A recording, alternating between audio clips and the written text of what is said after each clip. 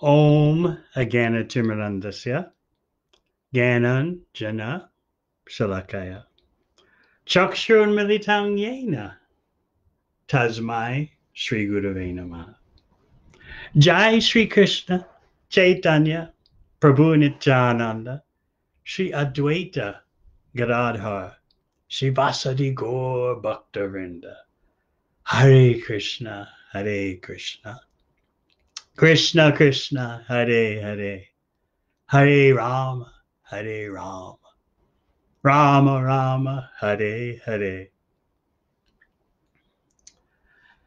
Tonight we're going to warm you up a bit for Lord Nrsinga's appearance day. Coming in two days, Wednesday. We're going to discuss the prelude.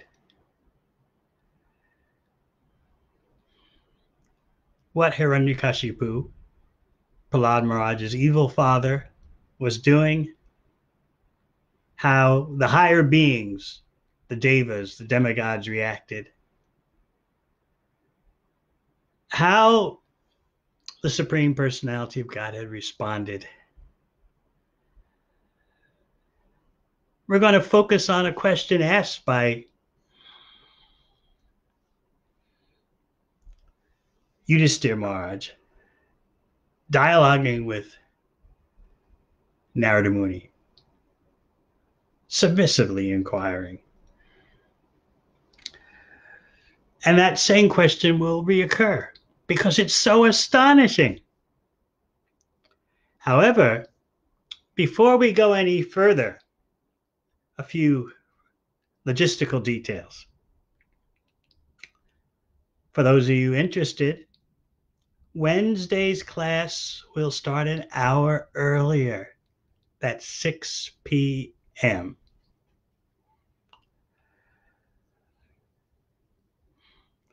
And that will be it for this week. There'll be, as far as I know, nothing on Friday. And we'll announce the schedule, what may be, for the coming weeks.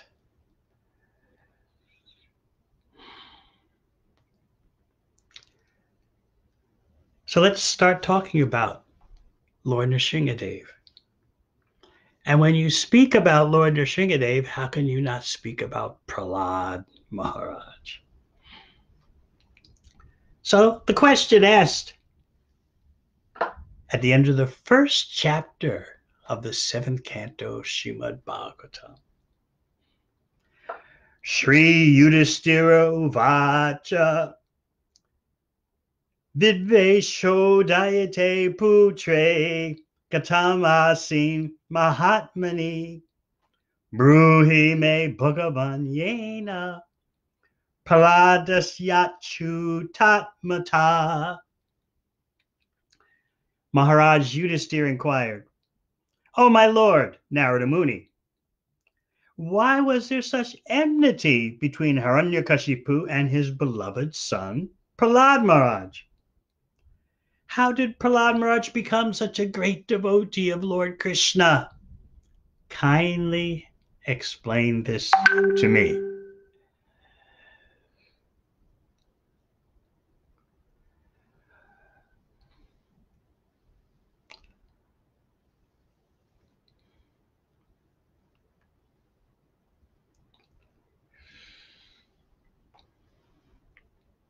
The Supreme Personality of Godhead is referred to as Achyuta, infallible. And let's take the inner meaning of that. Infallible in terms of loving exchanges with his devotees. Everyone would like to be connected to an infallible lover, an infallible friend, an infallible child, an infallible master. That is Krishna Achyuta. He never fails in exchanges of rasa with his devotees. And as Srila Prabhupada explains in the purport, devotees are called achyutatma, those who are attached to the infallible, those whose life and soul is achyuta. I know several wonderful devotees with the name Achyutatma, one in St. Petersburg, Russia, another in Cardiff, Wales. So the whole point of Yudhisthira Maharaj's inquiry is that he wants to receive an explanation from Narada Muni how Prahlad developed such a concentration on a achyuta.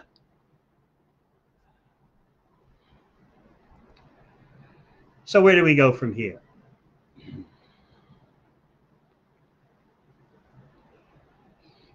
Let's start thinking about the unparalleled power, when measured materially, that is, of course, possessed by Hiranyakashipu, Prahlad Maharaj's demoniac father.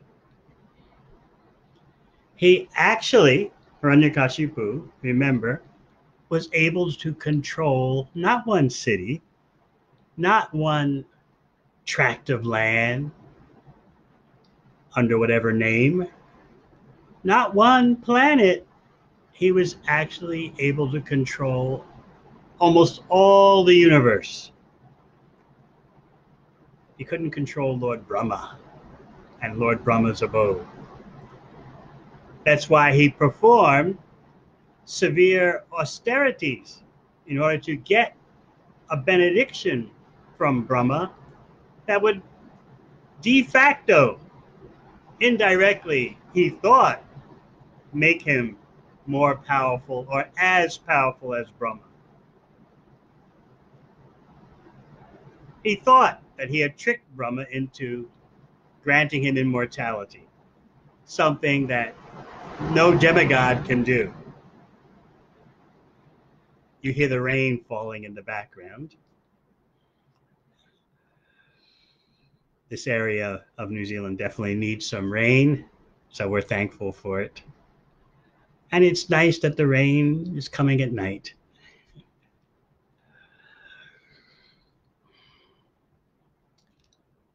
Before I forget, I've just been reminded that class Wednesday starts at 5 p.m. Oh, not 6 p.m., but 5 p.m. New Zealand time. Thank you, Gaur Arti Devi Dasi, for sending that reminder. Now back to Hiranyakashipu and his atrocities.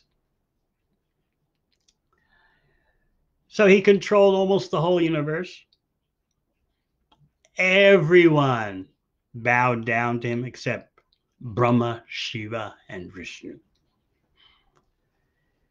Even great sages like Narada Muni and his associates went along with the game externally.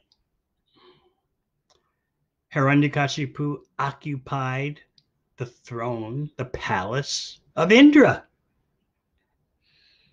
and enjoyed all the heavenly arrangements, luxuries.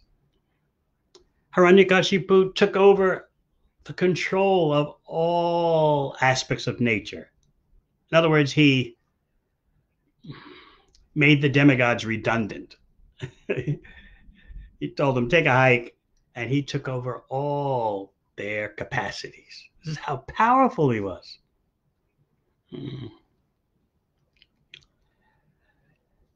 You know how he got that power through extreme austerity, tapa. he was the master of that. Tapa austerity, yoga, mystic yoga,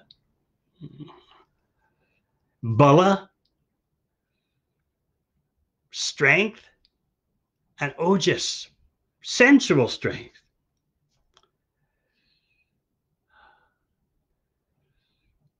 These kind of personalities appear from time to time with varying degrees of such powers that human beings wonder where did that power come from? And even such leaders can cause such havoc, such catastrophes, genocide, and wars, world wars. And then afterwards, people scratch their heads. Why did so many listen to this leader? It's empowerment by Maya, the illusory energy. The illusory energy raises up such unqualified leaders to give the suitable reactions to unqualified persons who want to follow unqualified leaders. Generally speaking, it's like that. Hiranyakashipu was a special case.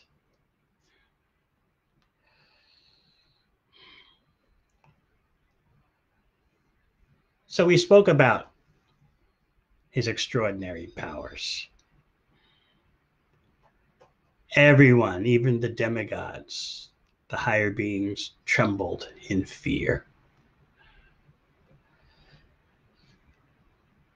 if ever there was a person who had it all materially, it was her, Hiranyakashipu. Opulence, riches, bodily strength, sensual power.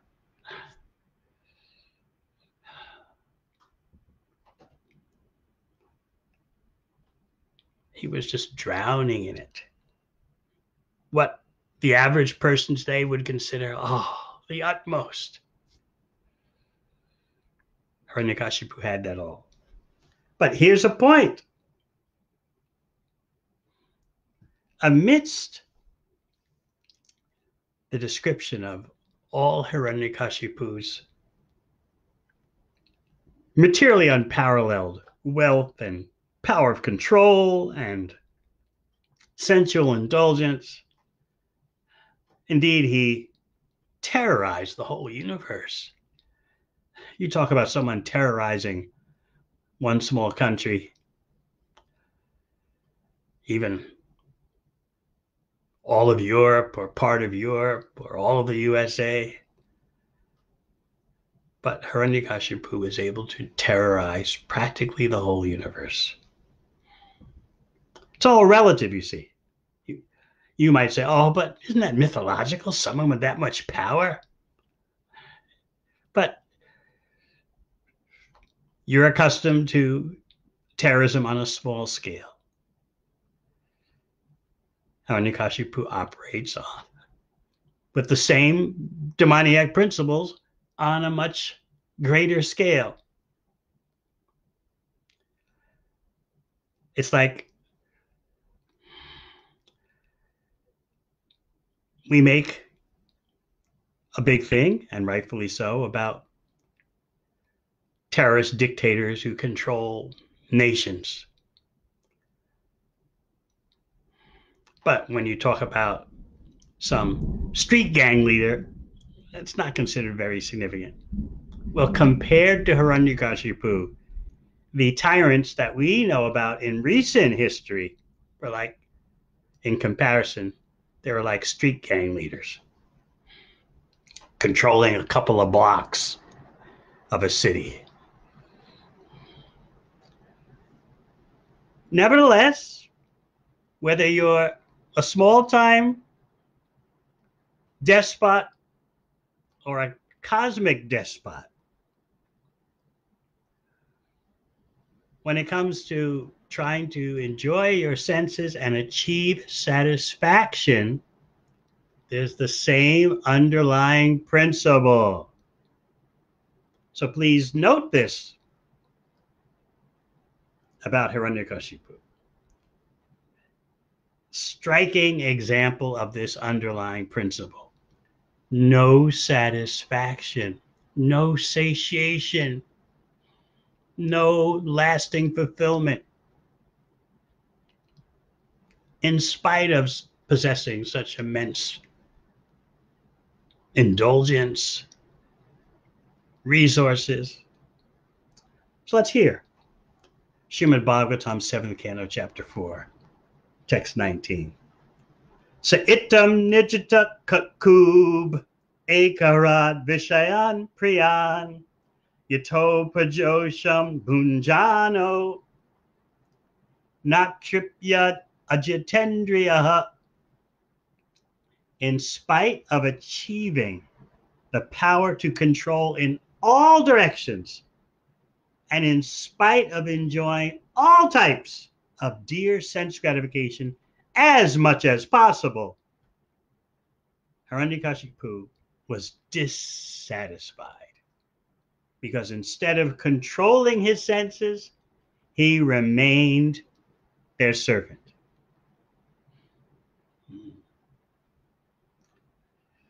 Let's let that sink in for a while. Mm. He had it all, more than you could ever dream of, what to speak of having. And still he's dissatisfied. The principle here is that, well, we'll read a bit of Prabhupada's purport.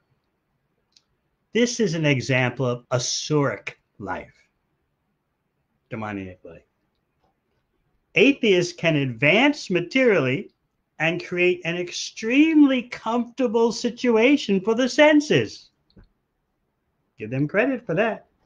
But because they are controlled by the senses, they cannot be satisfied. This is the effect of modern civilization. Hmm.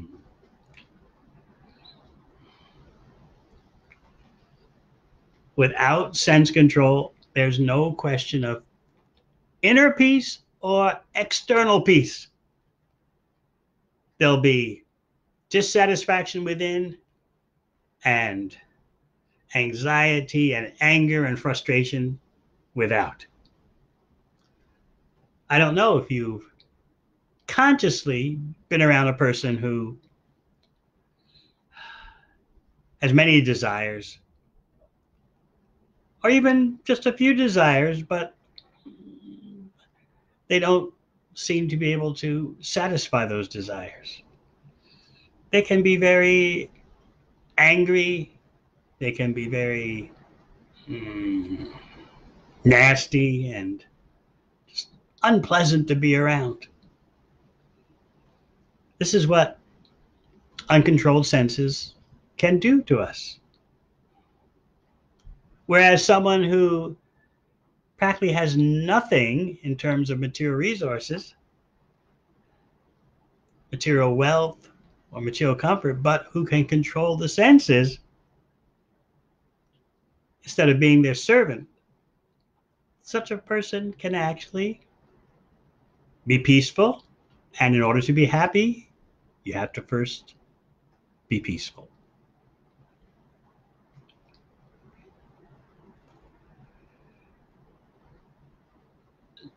So Srila Prabhupada points out to us.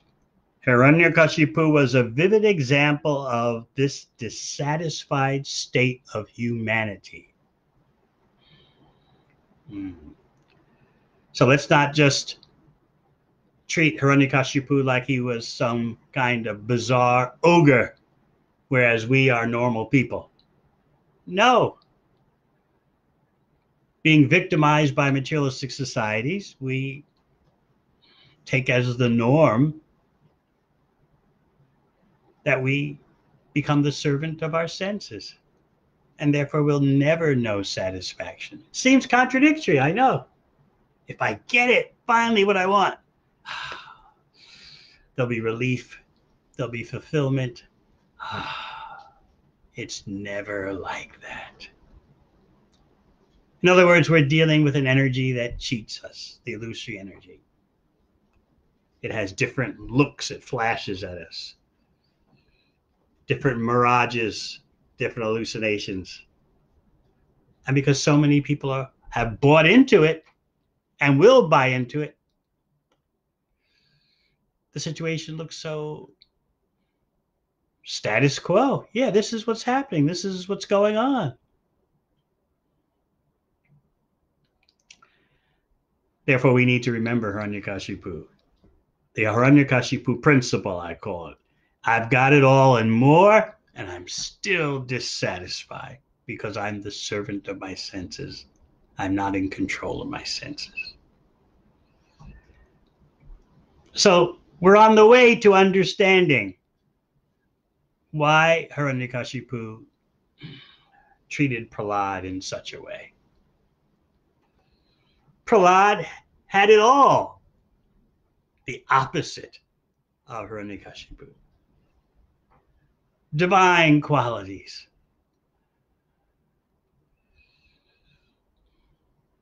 His father was envious of him. We'll be talking more about Prahlad in terms of bhava, because near the end of this chapter, fourth canto, seventh canto, you'll hear the characteristics of Prahlad's ecstatic love, even as a child, despite having such a hard father.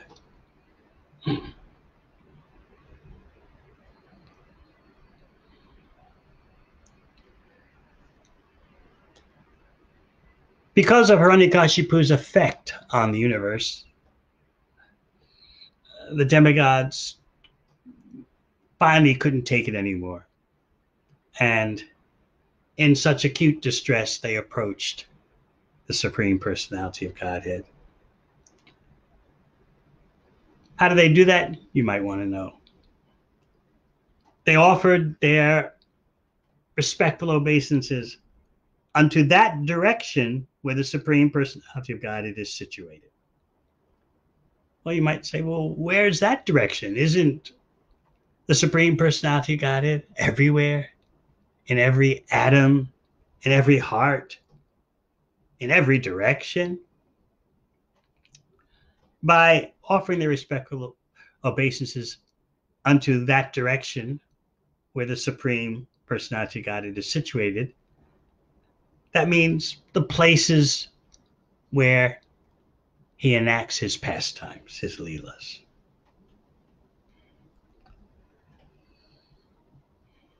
And they got an answer. In sound. They didn't see in the normal way, but they saw through their ears. They heard a transcendental sound vibration emanating from someone not visible to material eyes. And that sound drove away all their fear.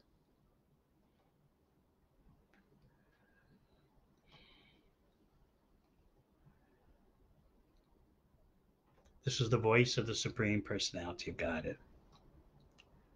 Encouraging the demigods to make progress in bhakti yoga by hearing and chanting, by offering me prayers, he said. And then he reassured them, I know all about what Hiranyakashipu is doing. I will surely stop his activities very soon. Please be patient. Wait patiently. Now, embedded in this hearing by the demigods of just sound are some deep principles, tattva, the science of the supreme. They didn't see as we thought they see, or someone can see, but you see, the nine processes of bhakti Shravanam Kirtanam Vishnu. Hearing and chanting, worshiping, and so forth.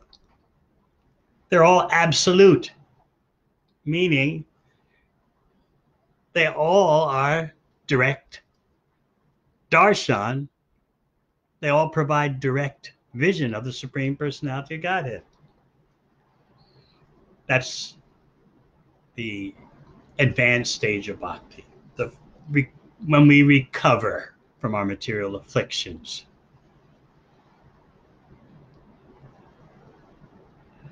That ability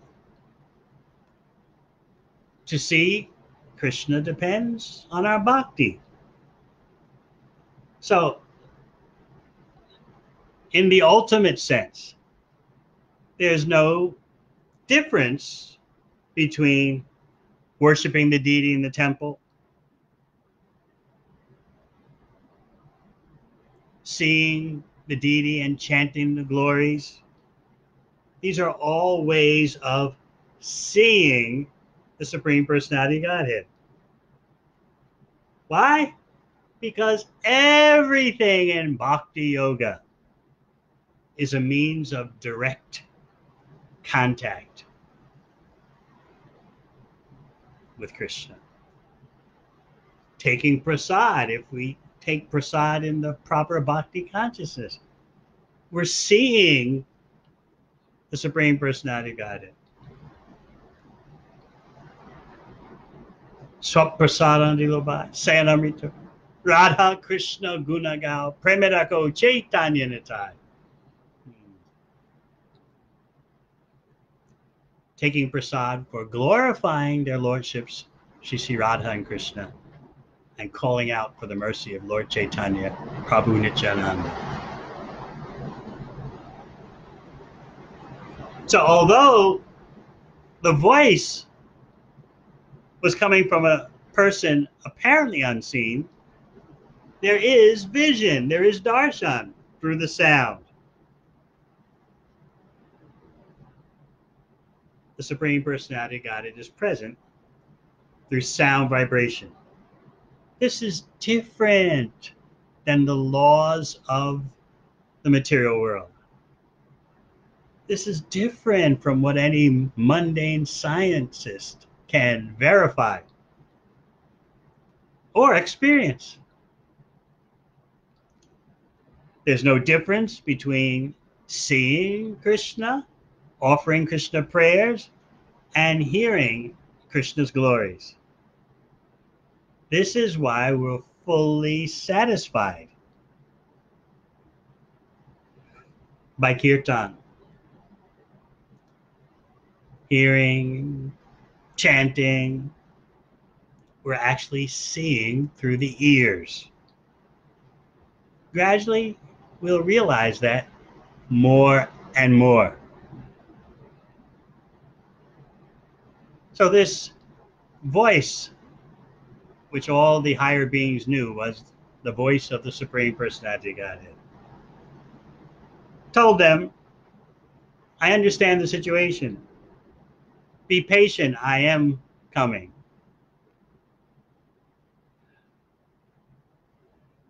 There'll be some apparent suffering until you see me emerge from the pillar.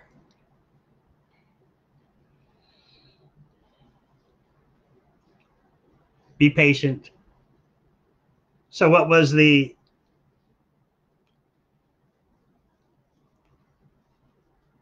demigod's reaction? They heard about how when Hiranyakashipu teases his great devotee son Prahlad. Teases is a mild word, actually, when he tries to torture him. The voice told them, I'll kill him immediately.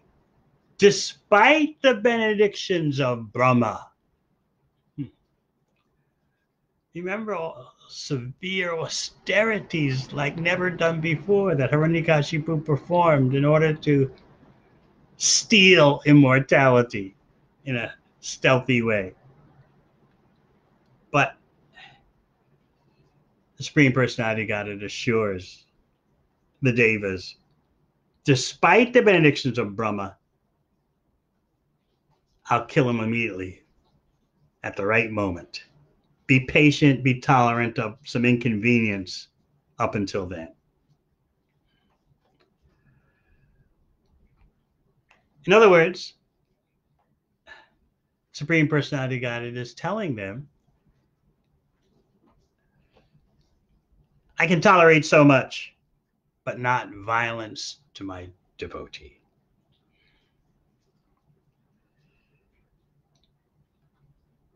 So we asked, what was the response of the Devas? Residents of the heavenly planets. They offered their respectful obeisances and went back to their respective residences, confident that basically Hiranyakashipu is dead. they had no doubts. Just by hearing, seeing through their ears, they knew what the outcome was going to be of this greatest terroristic leader in history. Of course, this event is far earlier than what contemporary historians consider history to be.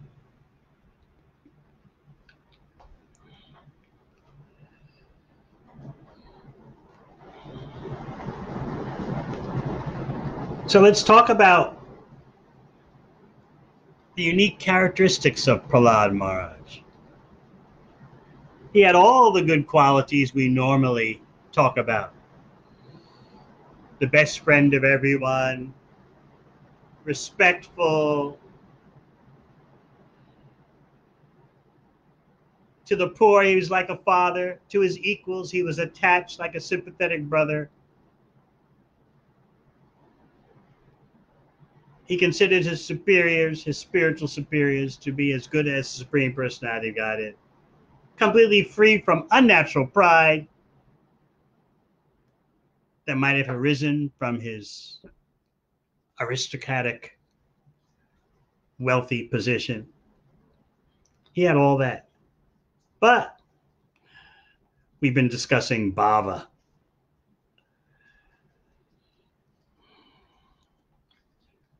and Prahlad just emanated the symptoms of ecstatic love.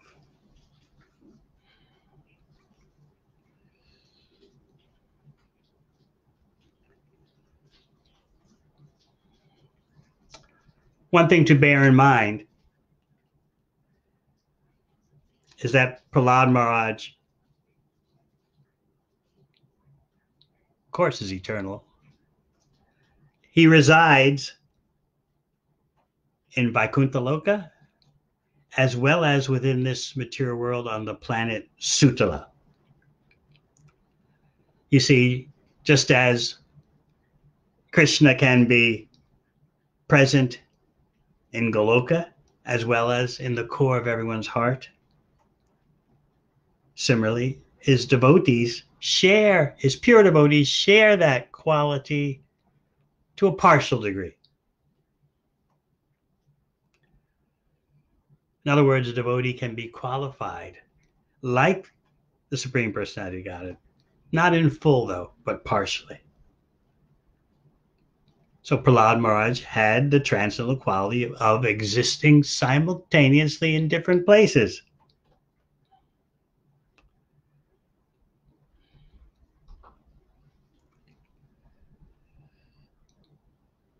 Narada Muni assures King Yudhisthira that in any assembly where there are talks about saintly devotees,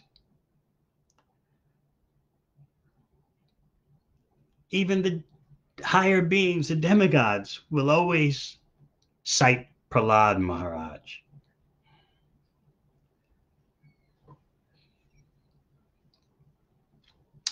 It would go something like this This devotee is like Prahlad. In other words, Prahlad is the gold standard, a term back when the world's currencies were tied to the value of gold. So Prahlad was the gold standard for bhakti. When you wanted to talk about someone's stellar exceptional bhakti, you'd say, oh, like Prahlad.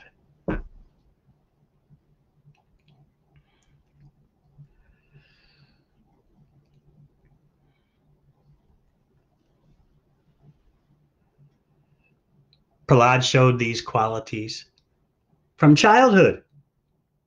He wasn't interested in playing around as a kid. He just remained silent, fully absorbed in the Supreme Personality of Godhead. And devotees of that stature literally actually can't understand how does the world go on fully absorbed in mundane affairs? How can anyone do that?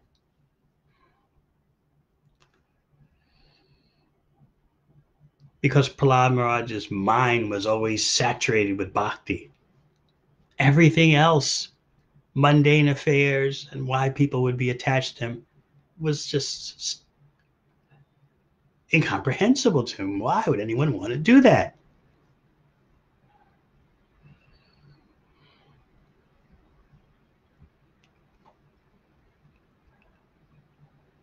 One interesting term in one of the verses is Krishna Graha, the influence, the Krishna influence.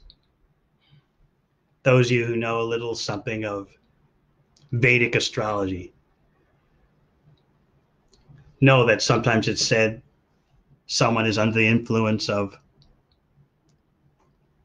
this planet or that planet, Saturn, or so on and so forth.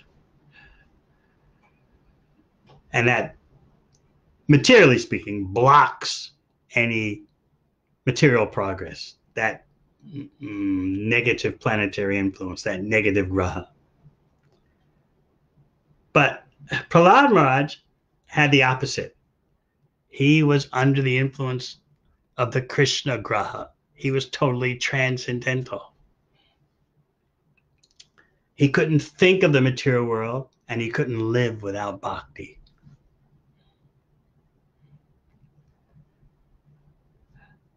So again, like just like someone's under the influence of a planet that has negative effects for material prosperity and development. Prahlad was under the influence of the Krishna planet and its planetary effects. It's up to us what we want to make our life in terms of the influence that we want to operate under.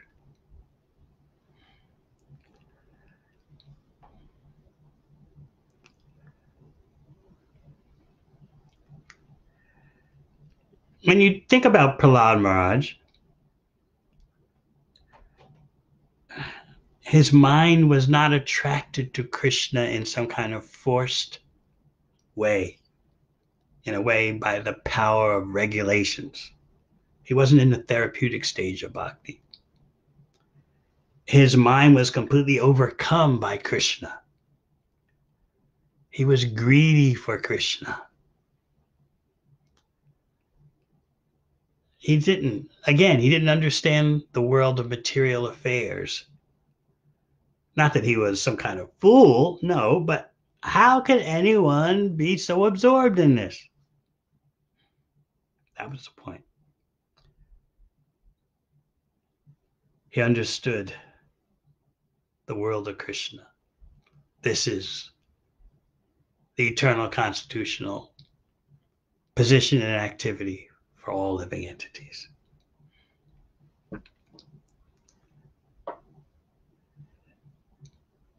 One interesting point was that his awareness of his worshipable Lord was like a child, a babe on the lap of its mother. Think about it. You see, Prahlad Maharaj is described as always being embraced by the Lord. So much so that he doesn't know how his bodily necessities are going on. Bodily activities like sitting, walking, eating, lying down, drinking, and talking, These are all carried on automatically. So, what does that mean? That he doesn't know how his bodily necessities, his bodily affairs are functioning. That example of a small child on the lap of its mother. The infant doesn't really know how its needs for food and sleep and urinating and evacuating are all going on. The infant doesn't know that, but still, those bodily affairs are happening, and the mother is taking care of all that. The infant is simply satisfied to be on the lap of the mother. The mother is taking care of all the bodily affairs. An infant has no understanding. Just the food comes, the urinating, the evacuation is going on, the sleeping, the reclining, uh, just all happening to the infant. The infant is just focused on the affection of the mother. And similarly, Prahlad Maharaj is just focused on his relationship with his worshipful Lord. Beautiful example given by the Acharyas, Srila Prabhupada and Vishwanath Chakravarti Thakur.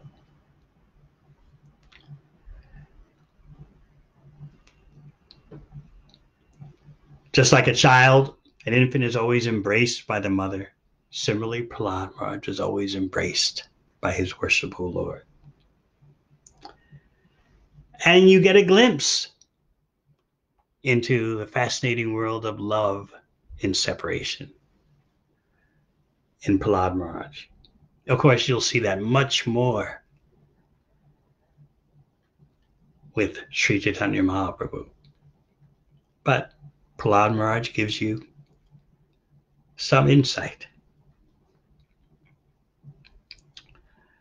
Kvachid rudati vaikunta chinta shabala chetana Kvachid dasati touch chinta lada udga yati kvachid. Because of advancement in Krishna consciousness, he sometimes cried, sometimes laughed, sometimes expressed jubilation, and sometimes sang loudly.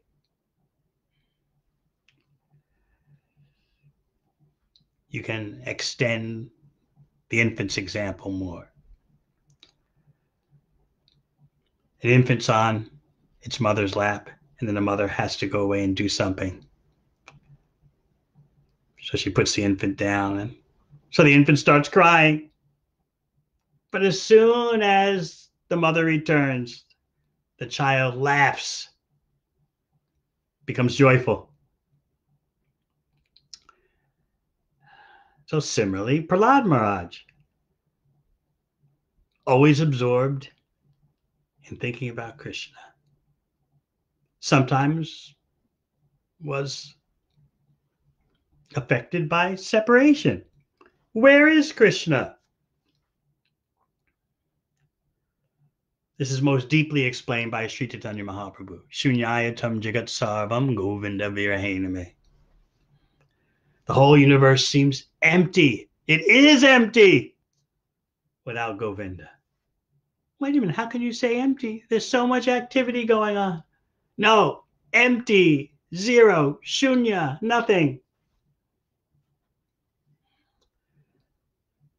So, therefore, such a devotee feeling that Krishna is invisible for him or her, feeling that Krishna has gone away. Such a devotee cries in separation. This is Antya-lila Sri Chaitanya Charitamrita. But then, when such a devotee sees that Krishna has returned, returned to care for him in the case of Prahlad Maharaj, such a devotee jumps up if, and laughs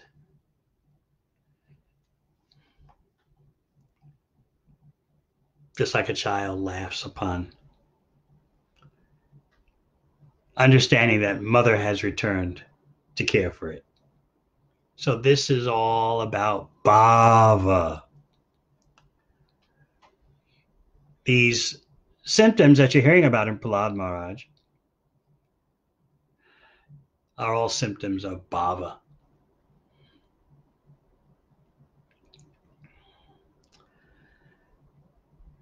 And Vishwanath Chakravarti Thakur gives us further elucidation. When Prahlad wouldn't see his worshipful Lord, he would think, Where's my Lord gone? He's given me up. And his mind would become transcendently troubled, not materially troubled, but transcendentally. And he would cry. And then the Lord would return. Oh, Prahlad, oh, child, why are you crying? Just because you haven't seen me for a moment. And then Prahlad would laugh like a happy child that sees its mother again. And the mother embraces him.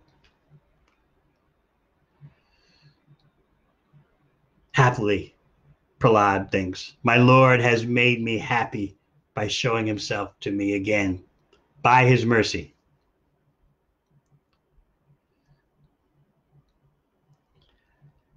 More symptoms of Prahlad's ecstasy. Narati kvachit utkanto vilajo nrityati kvachit kvachit tad bhavana yuktas tanmayo nuchakaraha Sometimes, upon seeing the Supreme Personality of Godhead, Prahlad Maharaj would loudly call in full anxiety. He sometimes lost his shyness in jubilation and began dancing in ecstasy. And sometimes, being fully absorbed in thoughts of Krishna, he felt oneness and imitated the pastimes of the Lord.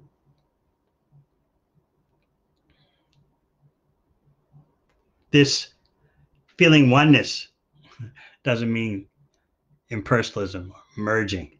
It means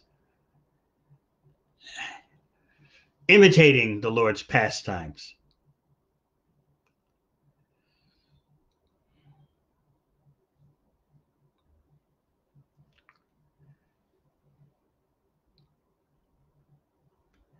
The example given by Srila Prabhupada is that sometimes the cowherd boys in the forests of Braj would imitate the behavior of jungle animals.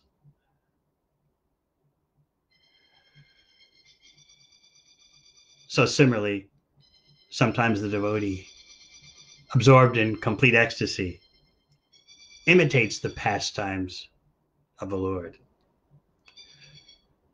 The gopis did this in the middle of the night in the forests of Vrindavan, searching for Krishna.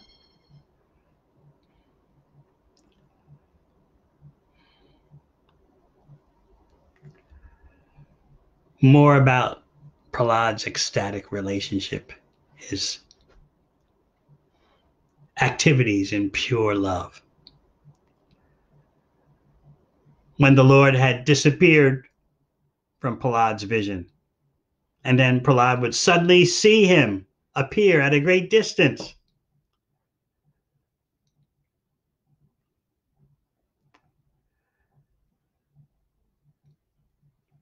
The Lord Himself would cry out, Oh, Prahlad, dear child, without seeing you, I get no satisfaction, since you alone are most dear to me. That's when Prahlad would start dancing without shame or shyness. Then, when the Lord disappeared and the great pain of separation transcendental pain, mind you. The great pain of separation would envelop Prahlad. He would lose himself in deep thoughts of the Lord and identify himself as the Lord. This is a kind of madness in love. It's not impersonalism. He would, Prahlad would imitate the pastimes of Rama and Krishna when they appeared in this world. So these are some of the ecstasy, ecstatic symptoms demonstrated by Prahlad. His spiritual jubilation, hair standing on end, tears gliding down from half closed eyes because of his love.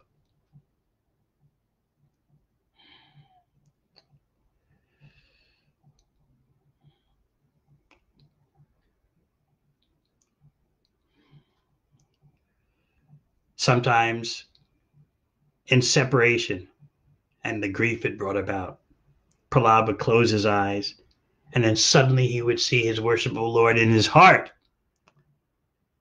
and he would feel the touch of the Lord's hand, and Prahlad would be lost in ecstasy, his hair standing on end. Stunned, he wouldn't move, be able to move. His half closed eyes filled with tears. Overwhelmed with affection for his worshipful Lord.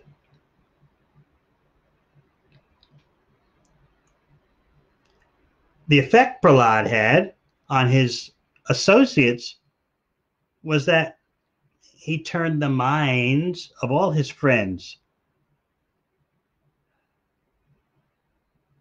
to bhakti. He influenced these friends, he cleansed their minds by his association. All while never being disturbed by the chastisements of his demoniac father. So your question could be, the acharyas point out, how could Prahlad have such steady bhakti amidst such bad association as his, demoniac father and others? His boyhood friends were also from demoniac families. Why he had no danger from this bad association?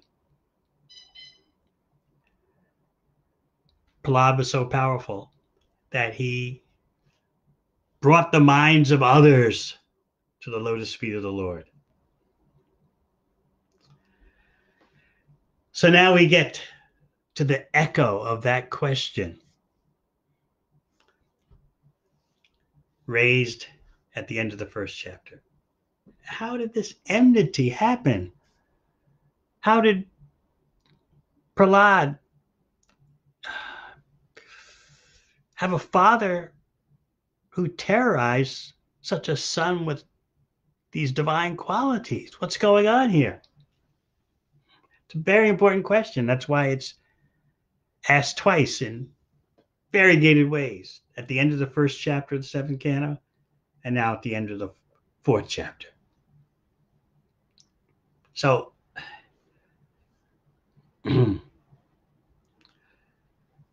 Narada Muni is going to provoke that question again from Yudhisthira. He says, My dear King Yudhisthira, the demon Hiranyakashipu tormented this exalted, fortunate devotee, although Prahlad was his own son. Yudhisthira, again, as we said, okay, uh, I need to know more. Shri Yudhishthira Vacha Devarsha Etad Ichamo Vedatum Tavasuvrata Yaratmajaya Shraddhaya Pitada Sadavehakam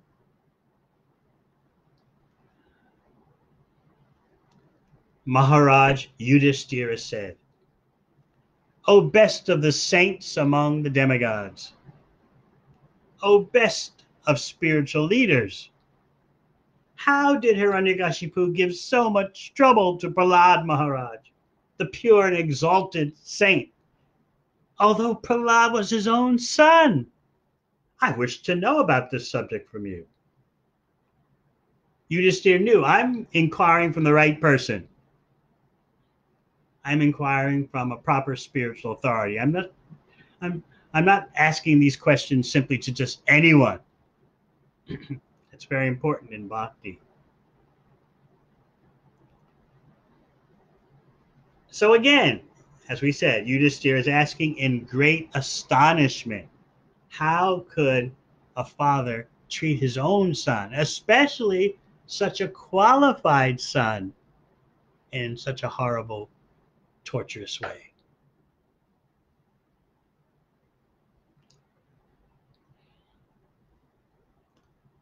So Yudhisthira elaborates about how a father and mother are always affectionate toward their own children. All right, sometimes children are disobedient, but the father and mother chastise the children not from hatred or envy, but out of love for the child's well being, welfare, upbringing, proper upbringing. So then why, how did Hiranyakashipu, Prahlad Maharaj's father, chastise such an extraordinarily beautiful, qualified son? Yudhisthira says, This is what I'm eager to know.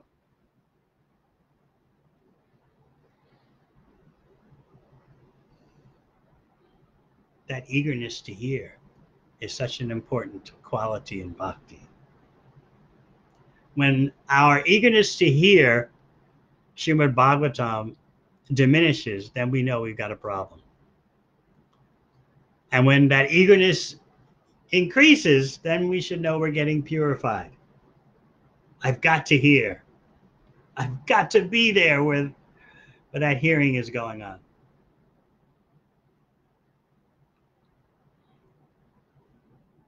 But Maharaj Yudhisthira is not finished. He's really teaching us that this is an extraordinary situation. He's coming at it from different angles, all focused on the same point. How could this happen? He's really, by his questions, setting the scene for quite a few chapters that are going to come about Hiranyakashipu, Prahlad Maharaj, Lord Nrsingadev.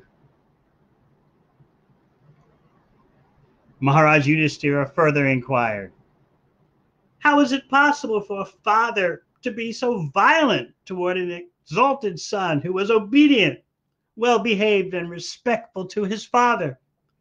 O Brahmana, O Master, I have never heard of such a contradiction as an affectionate father is punishing his noble son with the intention of killing him. Kindly dissipate our doubts in this regard. I'm eager. Please dissipate our doubts.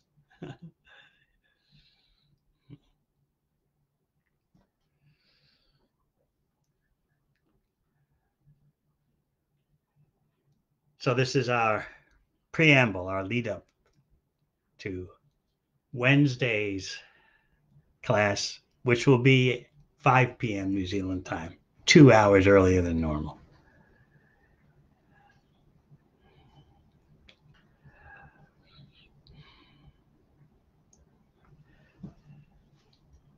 Let's see if we have time for one or two questions. Kasturika Devidasi from India is asking about distress in bhakti. She says that I mentioned in previous class how distress does not automatically open people to bhakti, even though this world is full of distress. And that it's contact with the devotee which makes the crucial difference, not just distress in of itself. So she raises the point of Kunti Devi in the first canto. She says, Tammakinchana Gotram. Krishna, you're attained by those who are materially exhausted, not by those who are attached to material opulence.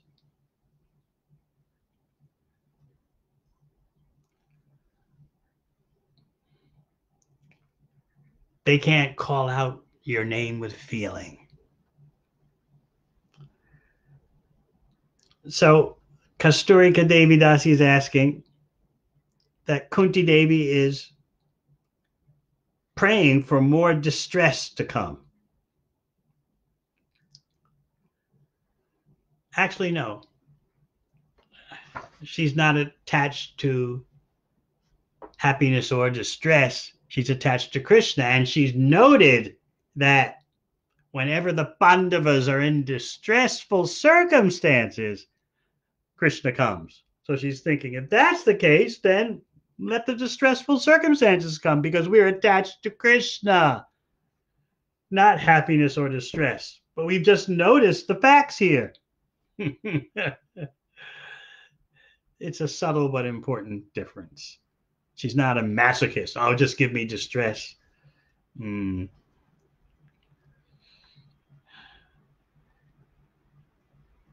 In Brihad Bhagavatamrita, it's described that the Pandavas plot, they concoct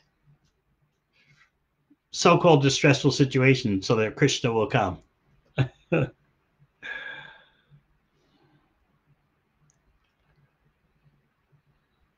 They're thinking, how do we how do we get his association very quickly?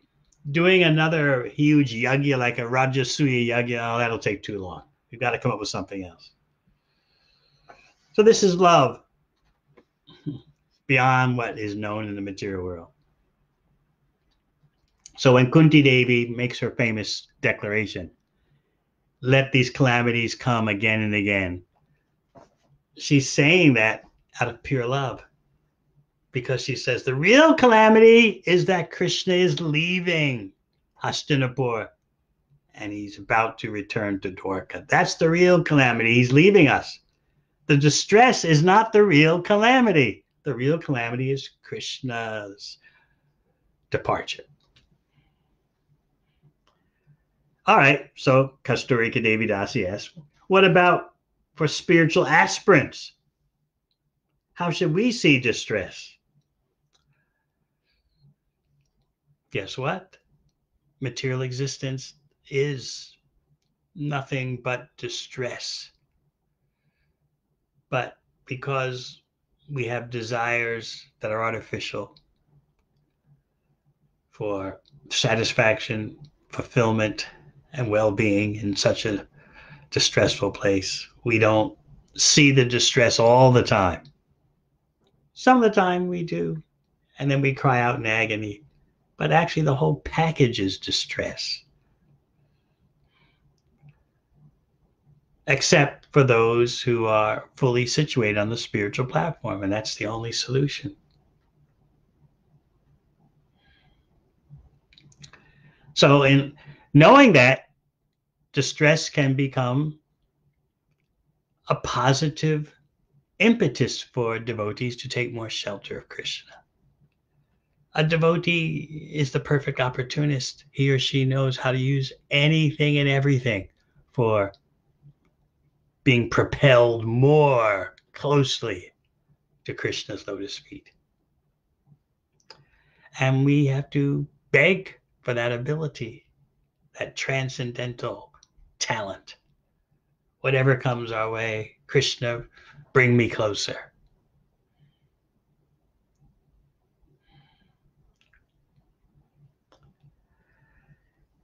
And we have a question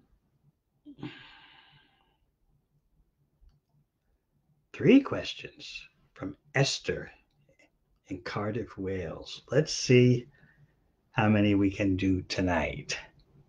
She first asks, How can one really harmonize with Krishna when we are inferior to him and we are propelled by the modes of material nature? The transcendental fact of existence is that we are qualitatively equal to Krishna. In other words, we've really buried ourselves deep into illusion.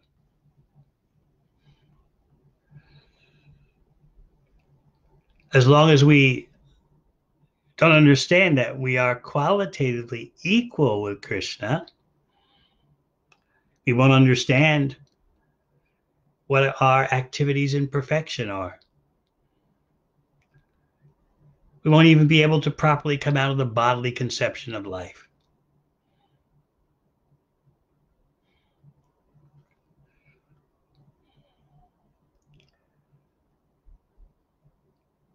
How can we harmonize with Krishna? That's what the process of purification is all about. The more we embrace that process of purification, the more we become qualified to, to retain or regain our original harmony with Krishna. That harmony is in pure love. Therefore, the example is given about the green bird flying into the green tree. The green bird is not the green tree, but because it shares the same color as the green tree, the two look indistinguishable. In that sense, they are one. But still, the green bird is the bird and the tree is the tree. This is an example of pure love.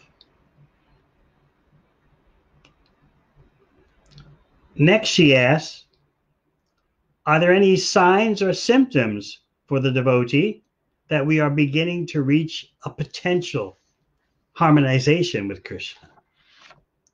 Yes, when we follow Krishna's instructions.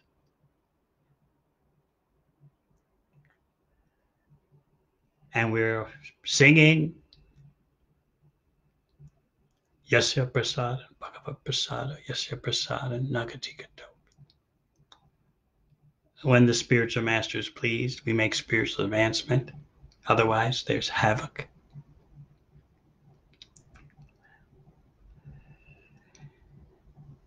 So we're making progress to the extent that we follow the instructions.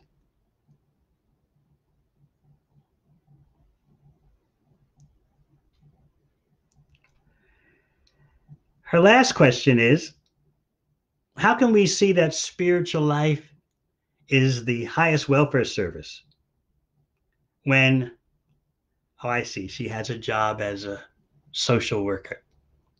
So, so much of her day is spent uh, tending to material welfare work.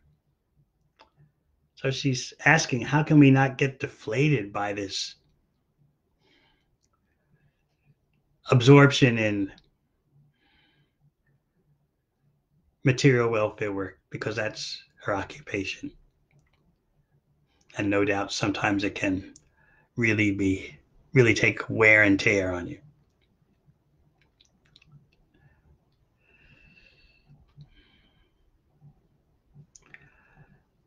Whatever kind of job we have, we have to keep ourselves fresh by appropriate hearing and chanting about Krishna, associating with devotees.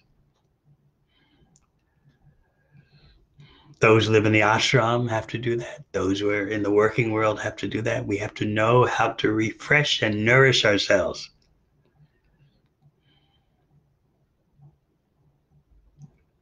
Then we'll always be able to keep the right vision, the right perspective. Otherwise, we could become overwhelmed I was just reading about one tragedy that happened in New York City during the pandemic. One very talented young doctor, she was like in her early 30s. and she was head of the emergency room services which means she had expertise and the right mentality to head up the emergency services of a hospital in New York City. All her associates at work said she was so talented and so competent, but she was becoming overwhelmed by seeing day after day the, the pandemic results ambulance after ambulance of dying person's coming.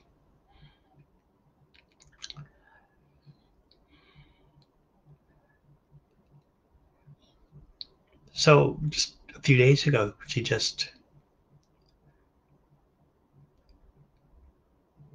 finished her life. So yes, during doing such essential welfare activities can be very draining. One becomes depressed. Everything look, can look hope, hopeless.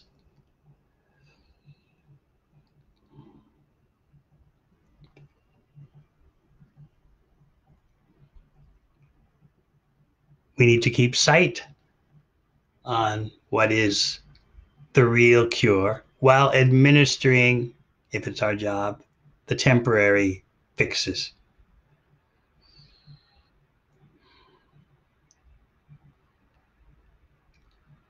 For our devotees, our bhakti practitioners, they must keep themselves nourished and surcharged through the processes of devotional service and association with devotees. Especially if we sideline our need to associate with devotees, we then, Srila Bhakti Siddhanta Saraswati Thakur says, we then lose our ability to distinguish between material and spiritual affairs. It all becomes a blur. Last question by Esther's husband Boma Vrindavan Das from Cardiff, Wales. He writes In the fifth canto, Krishna is described as dhira or equipoised, always in the transcendental position, never agitated. Yet we see circumstances in which Krishna displays a perceived agitation when his devotees are insulted or put in danger. Well, if this is not agitation, then what is Krishna displaying? So Boma Vrindavan thought this is an appropriate question because Lord Nrsinga's appearance day is soon upon us.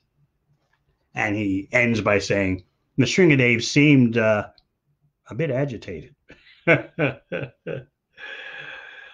upon his ripping apart Hiranyakashipu.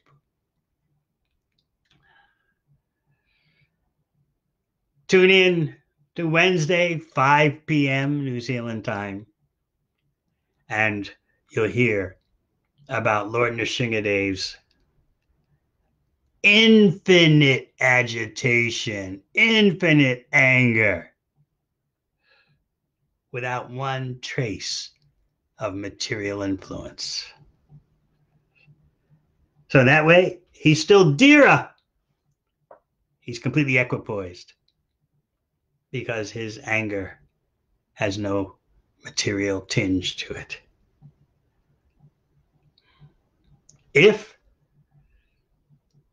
the Supreme Personality of Godhead is unlimited, then he's unlimited in everything. He can marry 60,108 wives in Dwarka.